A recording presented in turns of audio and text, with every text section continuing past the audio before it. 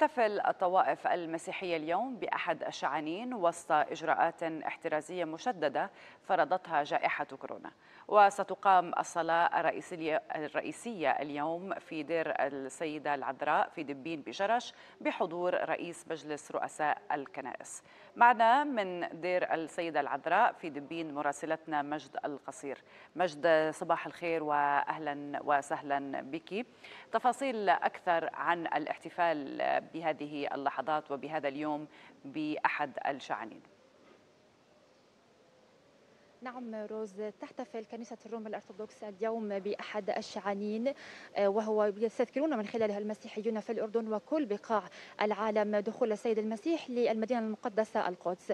آه، هذا هذه الصلوات الإلهية يعني يترأسها اليوم المطران آه، خريستوفورس وعدد من الرهبان والكهنة والراهبات. وسط إجراءات أمنية ووسط إجراءات أيضا صحية يعني توصف بأنها أقصى درجات الحيطة والحذر من خلال الالتزام بالتباعد التعرض الجسدي وارتداء الكمامات والقفازات. هناك يعني اقتصر عدد الحضور على عدد قليل من الناس يعني من المواطنين. لكن هناك تواجد كبير من قبل الرهبان والراهبات ويعني عدد من الطوائف المسيحية. وذلك نتيجة جائحة كورونا التي فرضتها الأزمة علينا.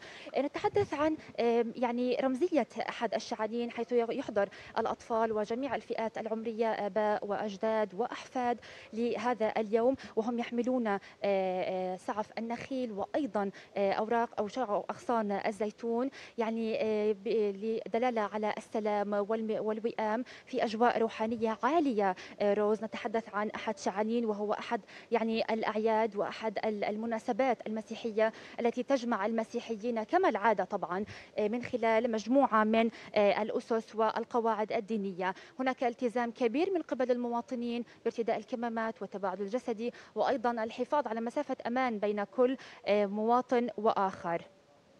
روز نعم. آه، آه، المطران آه، المطران كريستوفر هو كريستوفر عفوا هو الذي يترأس قداس الإلهي اليوم وهو رئيس كنيسة أروم الأرثوذكس. أيضا وعدد من الرهبان والراهبات. هناك التزام تام وواضح من قبل المواطنين بإجراءات التباعد وارتداء نعم. الكمامات سيبدأ القداس أو بدأ القداس منذ الساعة السابعة صباحا وسينتهي في تمام الساعة الحادية عشرة تماما روز. نعم. مجد هل لديك أي معلومات حول آه، عدد المصلين اليوم داخل هذه الكنيسة هل تم السماح لعدد معين من المواطنين بالتواجد؟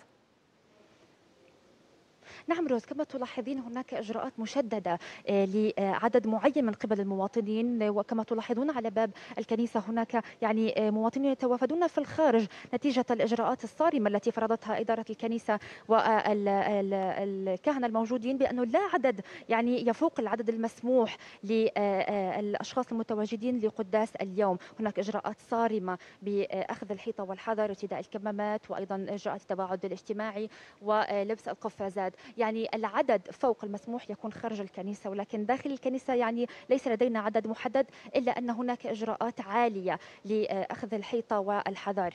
نعم. شكرا اذا لمراسلتنا مجد القصير من دير السيدة العذراء مرة أخرى كل عام وكل المسيحيين بألف خير بمناسبة أحد الشعن